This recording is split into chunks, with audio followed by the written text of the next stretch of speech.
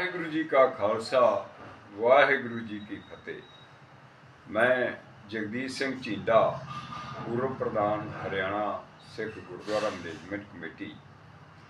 ਸਾਰੇ ਹਰਿਆਣੇ ਦੇ ਸਿੱਖਾਂ ਨੂੰ ਬੇਨਤੀ ਕਰਦਾ ਹਾਂ ਕਿ ਪਾਰਲੀਮੈਂਟ ਦਾ ਜੋ ਇਲੈਕਸ਼ਨ ਹੋ ਰਿਹਾ ਹੈ, ਉਸ ਦੀ ਵਿਚਾਰ ਵਿਮਰਸ਼ ਕਰਨ ਵਾਸਤੇ ਕਿ ਆਪਾਂ ਕਿਸ ਪਾਰਟੀ ਦਾ ਸਮਰਥਨ ਕਰਨਾ ਹੈ।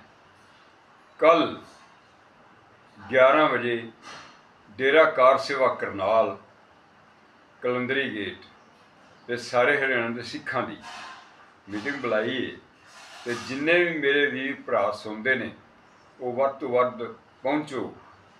ਕਿਉਂਕਿ ਹਰਿਆਣੇ ਦੇ ਵਿੱਚ ਸਿੱਖ, ਇੱਕ ਤਾਂ ਆਪਾਂ ਹਾਂ ਘੱਟ ਤੇ ਕੁਝ ਪਾਰਟੀਆਂ 'ਚ ਵੰਡੇ ਆ। ਇਕਜੁੱਟਤਾ ਵਿਖਾ ਕੇ ਕਿ ਇੱਕ ਪਾਰਟੀ ਨੂੰ ਸਮਰਥਨ ਕਰੀਏ। ਤੇ ਹੋ ਸਕਦਾ ਹੈ ਕਿ ਹਰਿਆਣੇ ਦੇ ਵਿੱਚ ਸਿੱਖਾਂ ਦੀ ਆਪਣੀ ਚੜ੍ਹਦੀ ਕਲਾ ਹੋਵੇ।